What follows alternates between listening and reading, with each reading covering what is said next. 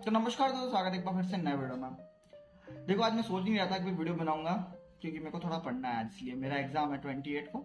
लेकिन अभी किया कैरेंस जो है उसका क्रैश टेस्ट निकल कर आया है, क्योंकि ग्लोबल एनकप वालों ने अपने यूट्यूब चैनल पर अपलोड करके बताया कि भाई इसकी रेटिंग वगैरह क्या है।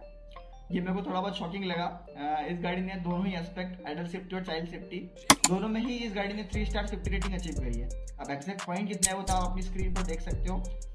एडल्ट सेफ्टी के लिए इस गाड़ी ने 9.30 समथिंग पॉइंट जो है वो अचीव करा है। अब किया करें जिस प्लेटफॉर्म पर बनी हुई है, उस प्लेटफॉर्म पर आपको किया की सेल्टोस जो है वो भी देखने को मिल जाती है हुंडई क्रेटा जो है वो भी देखने को मिल जाती है। साथ ही में आपको अल्केजर जो है वो भी देखने को मिल जाती है।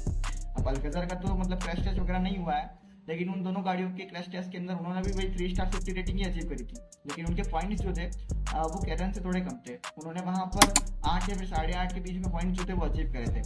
लेकिन ये कैरेंस जो है, इसने नौ से नौ पॉइंट तीस पॉइंट जो है वो अचीव करे हैं। अब एग्जैक्ट पॉइंट आपको स्क्रीन पर दिख रहे होंगे, मैं भूल गया। नौ, साढ़े नौ के बीच में मेरे मोबाइल में दूसरा इसलिए अब कैरेंस से मेरे को ज़्यादा एक्सपेक्टेशन थी, क्योंकि इस गाड़ी के बेस वेरिएंट से ही आपको सिक्स एयरबैग देखने को मिलते हैं स्टैंडर्ड और किया वाले भाई सेफ्टी सेफ्टी के नाम पे चिल्ला भी रहते हैं इसके लॉन्च के वक्त पे। लेकिन ये सेफ्टी रेटिंग पे निकल कर आई है इस गाड़ी की। और नौ पॉइंट मतलब इतना कुछ बड़ा रिज़ल्ट नहीं है। अब इस गाड़ी की परफॉर्मेंस अगर थोड़ी सी भी डाउन जाती क्रैश टेस्ट के अंदर तो भाई इस गाड़ी की रेटिंग टू स्टार हो जाती। है और बड़ी बात तो ये है कि भाई इस गाड़ी के अंदर सिक्स एयर बैग आते हैं। साइड सेफ्टी के अंदर इस गाड़ी ने थ्री स्टार अचीव करा है, जो कि मेरे हिसाब से ठीक है साइड सेफ्टी के अंदर। मैक्सिमम दूसरी गाड़ियाँ भी इतना ही स्कोर करती है। लेकिन एडल्ट सेफ्टी के अंदर अभी भी किया बहुत ज़्यादा पीछे है, खास करके टाटा और महिंद्रा से। अब इस वाले केस से भाई एक बात सिद्ध होती है कि भाई गाड़ी के अंदर पहले कितने भी एयर बैग हो ओवरऑल बिल्ड क्वालिटी ज़्यादा मैटर करती है। मैक्सिमम गाड़ी के बेस वेरिएंट के टेस्ट होते हैं, जिसके अंदर आपको दो एयर बैग देखने को मिलता है। क्रेटा और सेल्टोस में भी वही हाल था, लेकिन बहुत सारे लोग वहाँ पर एक्सक्यूज देते कि भाई हम तो टॉप वेरियंट खरीदते हैं, जिसके अंदर सिक्स एयर बैग आते हैं।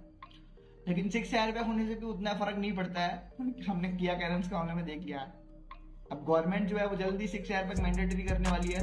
आ, मैं पहले खुश हो रहा था लेकिन इस वाले केस के बाद में मेरे को थोड़ी कम खुशी हो रही है। तो बस नेक्स्ट गाइस यही था आज के वीडियो के लिए। जय हिंद जवाब धन्यवाद।